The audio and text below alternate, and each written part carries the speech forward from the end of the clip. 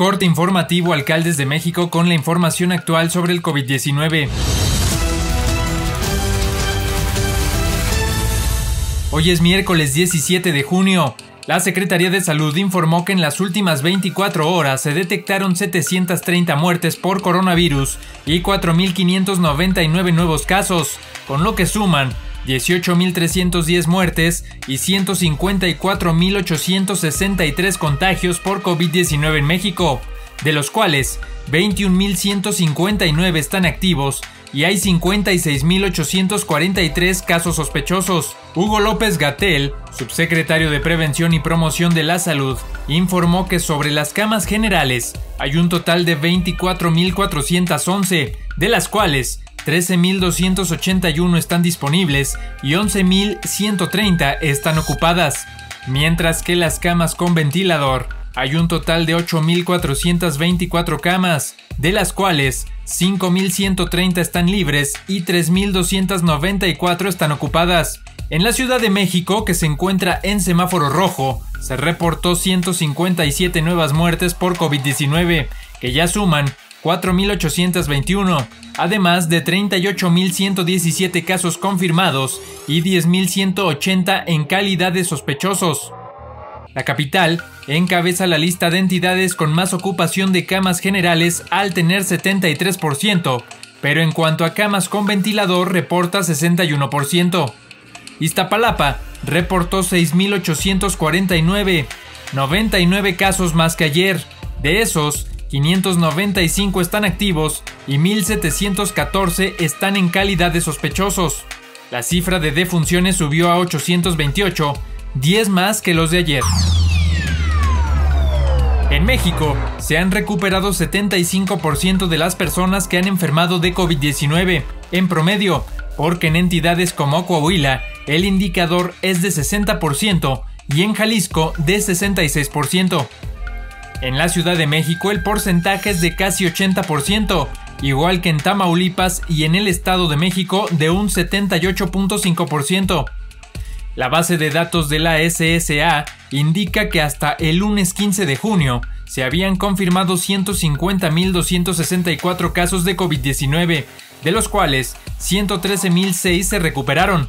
Destaca el dato de quienes han requerido hospitalización, el promedio nacional es de 32.36%, pero en Tamaulipas es de 14, en Nuevo León de 18 y en la Ciudad de México de 27.4%. Del total de internamientos en el país, 44.5% han sido mujeres y 55.4 hombres, la mayoría con edades de 35 a 50 años. Los datos generales dan cuenta de la variabilidad que presenta la pandemia en el Estado de México, con un porcentaje arriba del promedio de personas que se curaron. 42.5% de los afectados tuvieron que ingresar a un hospital. En Nuevo León, que registra un rezago en el reporte de pruebas de laboratorio de los pacientes sospechosos, casi 3.000 están pendientes. Los internamientos representan 18.13% y los recuperados 64%. Entre las entidades con más de 500 casos activos, correspondientes a personas que iniciaron con síntomas de COVID-19 en los pasados 14 días, está Baja California con 71% de personas recuperadas y 45.4% de pacientes que ingresaron a hospital. Coahuila, con 60% de recuperados, reporta internamientos de 23%.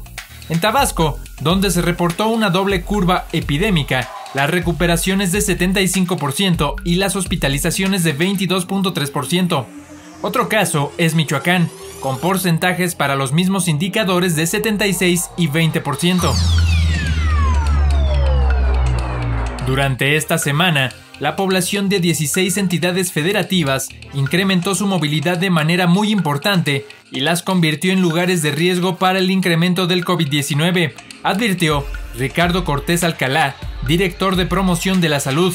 Respecto a la movilidad, Cortés Alcalá explicó que el reporte sobre la cantidad de personas que salieron al espacio público se basa en registros de las aplicaciones Facebook, Twitter y Google. Manifestó que aunque en la Ciudad de México es notorio que hay más personas en las calles y aumento en el tránsito vehicular, debido a la densidad poblacional, no se alcanza a observar en los datos recopilados por medio de las redes sociales. Por eso, la capital del país aparece muy cerca del cumplimiento de la meta del 65% en reducción de la movilidad. En cambio, tuvieron los mayores incrementos Aguascalientes, Baja California Sur, Colima, Baja California, Zacatecas, Durango, Hidalgo, Tabasco, Quintana Roo, San Luis Potosí, Sonora, Michoacán, Tamaulipas, Nuevo León y Yucatán. En tanto, las personas disminuyeron su movilidad en los estados de Campeche, Querétaro, Oaxaca, Puebla y Nayarit. El presidente municipal Osvaldo García Jarquín recibió de la Secretaría de Economía Federal Graciela Márquez Colín un certificado que acredita que el gobierno municipal de la capital oaxaqueña cumple con los estándares de la Comisión Nacional de Mejora Regulatoria, la CONAMER, para facilitar la apertura de negocios de bajo riesgo mediante trámites simplificados a través de una ventanilla única, un solo formato y un plazo máximo de 72 horas. Con esta distinción del gobierno federal, Oaxaca de Juárez y Tuxtla Gutiérrez son los dos primeros municipios del país en ser reconocidos por promover e impulsar en el ámbito local el sistema de apertura rápida de empresas. En el Salón Minería del Palacio Nacional, el edil oaxaqueño Osvaldo García Jarquín resaltó que este certificado que recibe el Ayuntamiento de Oaxaca de Juárez también es un reconocimiento a la premisa de hacer un gobierno mejor, coordinado con los niveles federal y estatal, y atender mejor a los ciudadanos. El mandatario de la capital oaxaqueña consideró que en Oaxaca se debe mejorar la cultura empresarial y que esta es una tarea del gobierno municipal ya que debe jugar un papel importante como promotor de normatividades que faciliten el espíritu de emprendimiento de las y los ciudadanos a través de relaciones de confianza, rapidez y certeza. García Jarquín destacó en su mensaje que derivado de la pandemia se han provocado daños a la economía nacional y al bienestar de la gente. Se requerirá de la mejor voluntad y capacidad de servicio para normalizar la vida de negocios y empresas, así como para modernizar las formas de producir y distribuir bienes y servicios.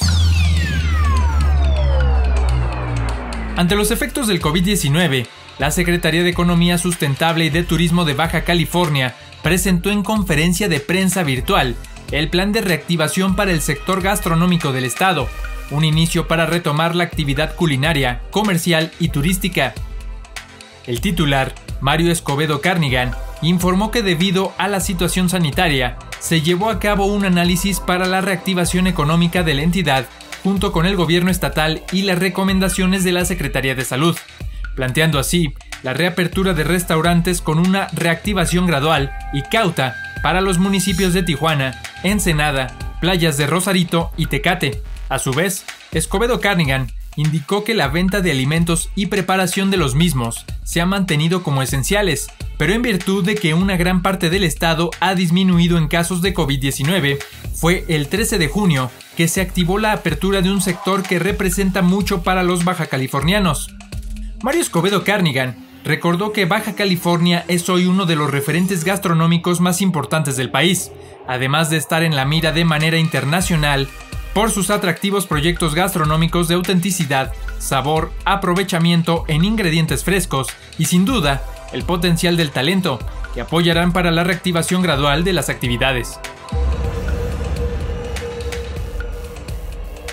Esto es todo por el momento, seguiremos informando.